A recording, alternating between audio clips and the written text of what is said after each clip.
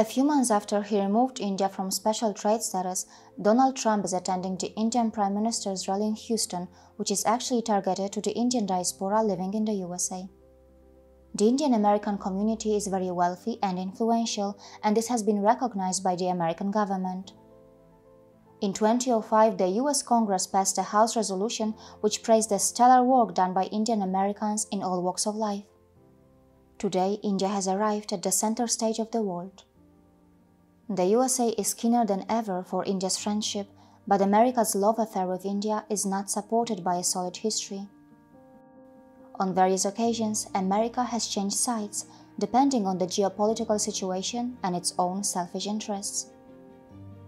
There is no denying that there is no friendship between nations in the global arena. It is all about mutual interests. But how far can a nation go to serve its own selfish interests? Can a nation also support those who support terror? Well, America has done that. Today, America claims that it supports India for its democratic values and ideological similarities but during the Cold War, it was keen to build a stronger relationship with China and Pakistan to weaken the Soviet Union. Ironically, during those days, America overlooked India's democratic values and the country struggled to rebuild itself from the damage done by the British, who some term as the common historical oppressor of both nations. In 1971, during the India-Pakistan War, the USA supported Pakistan, However, it did earn from selling weapons to India. In 1998, India successfully conducted nuclear bomb test explosions, and as a result, the USA imposed economic sanctions on India. But soon America realized that India's growing economy and huge market could not be ignored for too long, and those sanctions were lifted. As India's economic status grew over the years, so did America's love. In 2010, it even begged India for a permanent seat in the UN Security Council. Today, the USA sees India as a stabilizing force in Asia which can neutralize China.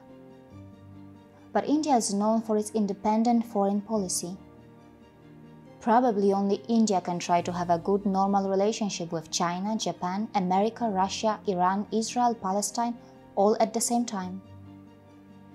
India is a net security provider in its immediate and greater neighborhood, but it believes in non-alignment.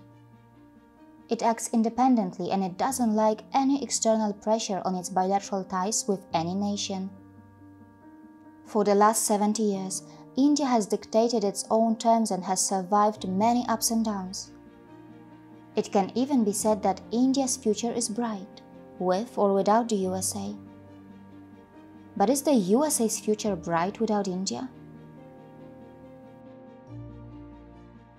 See you again.